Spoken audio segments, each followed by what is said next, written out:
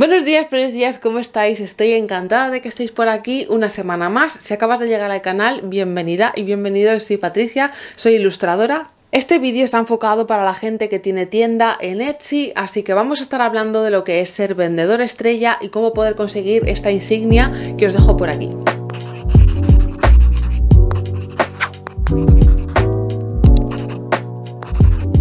Tiempo, hace unos meses, Etsy implementó esta nueva cosa. Eh, ¿Podría ser la cosa más sencilla? Sí. Etsy quiere todo el rato parecerse a Amazon también. Os cuento, para estos requisitos yo tengo una serie de trucos, no para todos porque hay algunas cosas que no puedo controlar, pero sí que es cierto que tengo algunos trucos que os voy a compartir más que nada para, para que esto no falle en la medida de lo posible. Entonces, ¿qué significa el tener esta pequeña cosita en tu tienda o que aparezcan los resultados de tus anuncios cuando nuestros potenciales clientes están haciendo scroll por la página? Ser vendedor estrella es un reconocimiento que está dando Etsy para todas aquellas tiendas que cumplen con unos requisitos y unos estándares de calidad, ya sea tanto en respuesta de mensajes, ya sea con los tiempos de envío, ya sea con las reviews. También os digo que esto es una revisión del 2022 en junio. Sí que este programa empezó creo que en septiembre del año pasado, empezó con una serie de requisitos que han ido modificando en función también un poco de la opinión de los vendedores y las vendedoras y más más bien las quejas. ¿Cómo funciona ser vendedor estrella? Tienes que alcanzar una serie de objetivos y estos objetivos van a ser revisados cada tres meses. Y te preguntarás, ¿pero cuáles son estos objetivos? El primero de los requisitos consiste en responder los mensajes muy rápido. Y muy rápido significa dentro de las primeras 24 horas. Etsy va a valorar en estos tres meses cuánto de rápido ha sido tu primera respuesta a esos mensajes que nos llegan a través de Etsy Mensajes.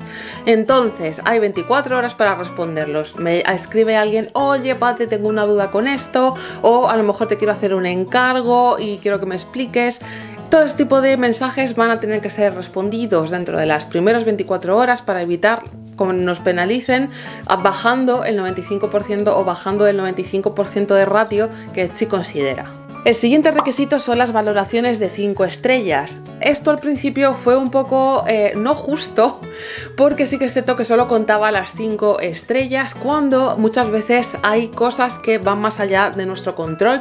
Yo, por ejemplo, puedo controlar el cómo hago mis paquetes, cuándo los envío, la calidad de mis productos, pero, por ejemplo, no puedo controlar si la empresa de envíos va a tener un retraso, si va a llegar el envío en no buenas condiciones o a lo mejor yo suelo meter alguna cosa extra, algún regalito dentro de mis pedidos, pero a lo mejor la persona que recibe esperaba otro tipo de regalito y a lo mejor ya pasó ese tipo de regalito y hay otro diseño de regalito y no es lo que esperaba y no le parece bien. Entonces hay diferentes cosas que sí que es cierto que están más allá de lo que nosotros podemos controlar.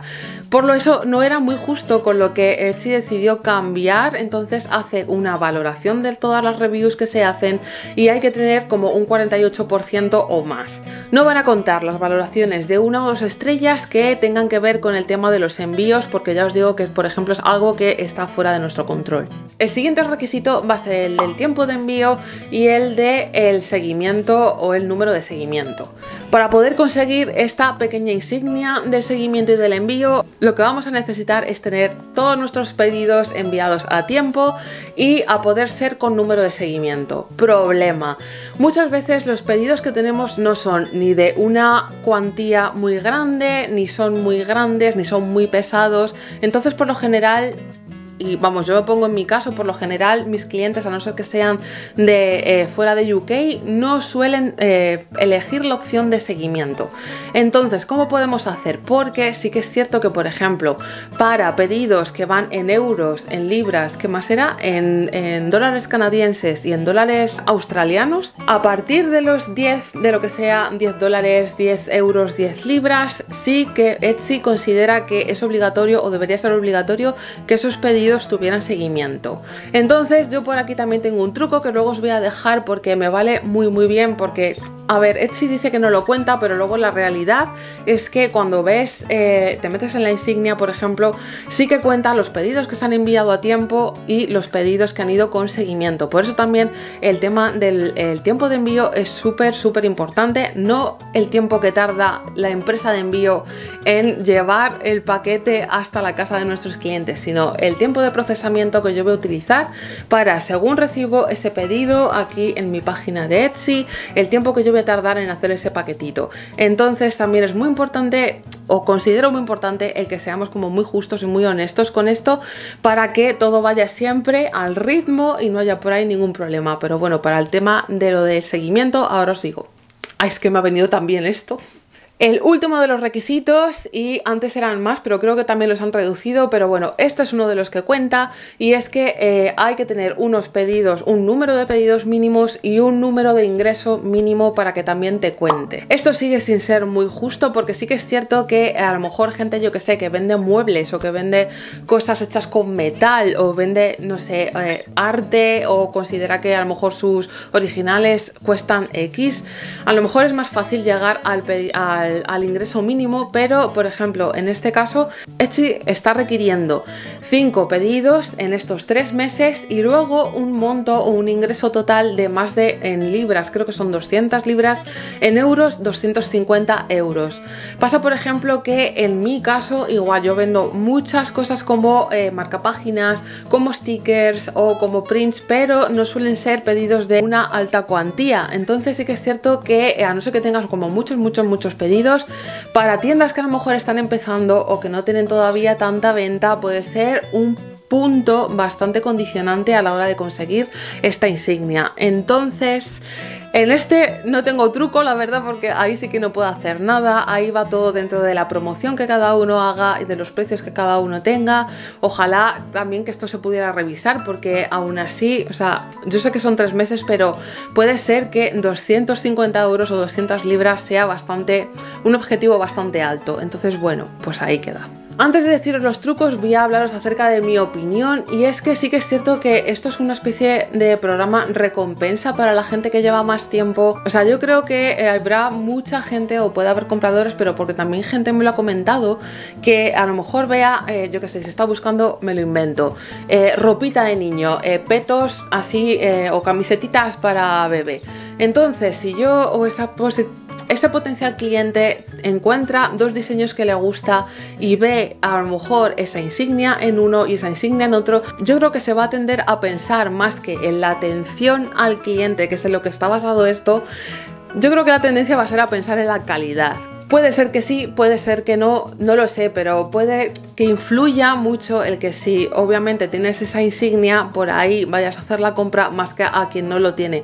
Con lo que puede ser o sea, es justo e injusto en dos medidas porque es justo para la gente que está trabajando un montón, que está teniendo un buen servicio, que están teniendo una cantidad buena de pedidos, de productos, que trabaja bien, pero también es injusto para la otra tienda que es más pequeñita, que también tiene un buen servicio, que también trabaja bien, pero por ejemplo no llega a los estándares de venta o no llega a diferentes cosas o por ejemplo ha tenido por tema de, de yo que sé, le han puesto eh, cuatro reviews no tan positivas, entonces que no han tenido que ver a lo mejor con los productos o así, entonces es como un poco difícil el, poder valorar si esto va a ser un impacto positivo o negativo en las tiendas. Bueno, ya veremos. Etsy yo creo que al final lo que está pretendiendo es parecerse o querer hacerse como un Amazon. No entiendo muy bien por qué, porque entonces toda la parte, eso que tienen de eh, gente emprendedora, gente artesana haciendo las cosas, como que todo eso se deja a un lado, es como la principal gracia que tiene esto, yo creo que era darle potestad y voz y posibilidades a todos los pequeños negocios que estamos aquí intentando sobrevivir, pero sí que es cierto que con estas cosas al final eh, te lo hacen todo como mucho más complicado, desde luego no se valora nada, nada, nada a la persona que hay detrás eh, fomentando y generando todas estas cosas. Desde hace tiempo estoy ya pasando toda mi tienda a mi página web y es otro de los, de los puntos que veo que hay mucha gente que entre todas las comisiones o fees que tiene Etsy, yo por ejemplo ejemplo, me pongo en que la mayoría de mis productos Etsy, entre el tema del procesamiento, el tema del método de pago, el envío, se me lleva de cada pedido como más de un 40%. Y esto es una pasada. A ver, habrá a lo mejor otras plataformas que puede ser que estén similar o que pueden ser que incluso sean más se lleve más y, tú percibas menos.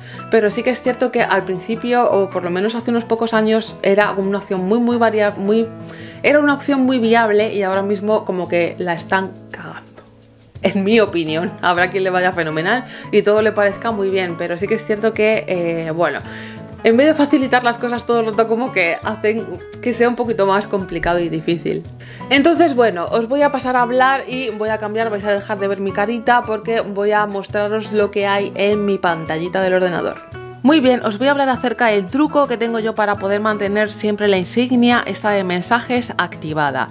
Y es que dentro de la columna del manager que tiene, en la columna izquierda, nos vamos a venir a mensajes y luego aquí arriba en esta parte superior derecha hay un botón que es autorrespuesta. Entonces, bueno, se puede hacer una composición o, hacer un mensaje nuevo, pero en este caso vamos a pinchar aquí en autorrespuesta. Y va a ser muy importante, claro, que le demos a on, que activemos esta autorrespuesta. Aquí vamos a escribir el mensaje que queráis. Por ejemplo, hola, tu mensaje ha sido recibido, te contestaré lo más pronto que pueda, por ejemplo. Una vez tenemos ya escrito nuestro automensaje, vamos a seleccionar aquí por cuánto tiempo queremos tener este mensaje. Este, esta parte es un poco entre comillas, rollo porque no es algo que puedas dejar eternamente activado, sino que a lo mejor si tú le pinchas aquí, lo máximo que permite Etsy es eh, hacer una autorrespuesta de 5 días. Entonces, a partir de los 5 días, va a empezar este mensaje a hacer un conteo como una cuenta atrás y a los cinco días, si quieres seguir teniendo este automensaje, tendrías que volver a hacerlo. Esto supongo que ellos lo hicieron en su momento como una manera a lo mejor de, dejar pues eso, automensajes cuando te vas de vacaciones o alguna cosa así, pero sí que es cierto que para cumplir con este requisito, bueno, lo máximo es cinco días, a los cinco días pues nada, habría que volver a hacer otra vez el mensaje. Hay un botón aquí que son mensajes usados como eh, réplicas de mensajes más usados. Entonces, mirad, si pinchamos en esta parte, vamos a ver aquí como un montón de ejemplos acerca de tanto si quieres dejar un automensaje por el tema de los envíos, quieres dejar un automensaje por las reviews. Y aquí abajo, ¿ves? Pues puedes, eh, pues se van guardando los que tú vas guardando o salvando. Así que bueno, por aquí también si pincháis cualquiera de ellos, veréis que el mensaje aparte del que yo escribí, que esto habría que borrarlo, pues ya va a haber como un automensaje que ya viene escrito por Etsy y todo, si no queréis personalizarlo tanto. Así que bueno, una vez, por ejemplo, lo vamos a dejar así, le daríamos a guardar y si por ejemplo bueno, ya veríamos aquí arriba que está en on, que está funcionando. Volveríamos otra vez a la autorrespuesta y aquí podéis ver cuándo es cuando esta autorrespuesta se va ya a parar o va a finalizar. Vale, ahora os voy a hablar acerca del truco que yo hago para poder mantener el tracking o el número de seguimiento dentro de los pedidos.